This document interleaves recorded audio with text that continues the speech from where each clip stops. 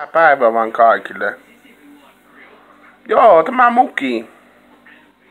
Mistä mä oon juonut kahvia nyt. On saksalaiset antanut. Tästä karhusta vai mikä tää on. Onkohan tämä karhu vai mikä tämä on kuvassa nyt tällä hetkellä.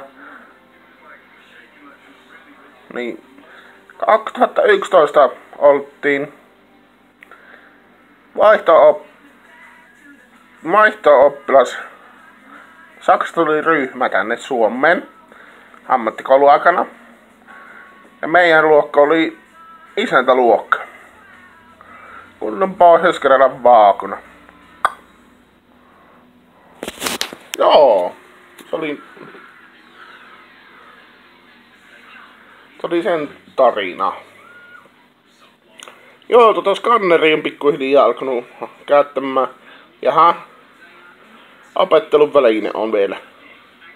Kun mä osaan vähän paremmin, niin sitten mä opetan teille. Ulkona todella kaunis ilma. Huomenna jos on vielä näin hyvä ilma, niin mä otan muutaman bissen ja muutaman bissen ja tota, tota, istun tuolla takapihalla. Miltä kuulostus? Kuulostuko huonolta? Ei ainakaan minusta.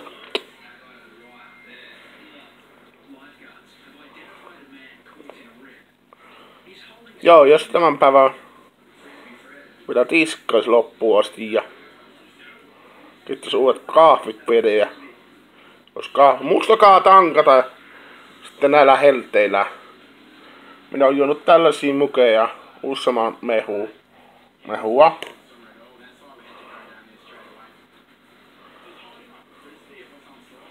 Mutta ne jos ei tule vielä enää tänä iltana videota, niin huomenna tulla joku video. En tiedä vielä mikä. Mutta moikka!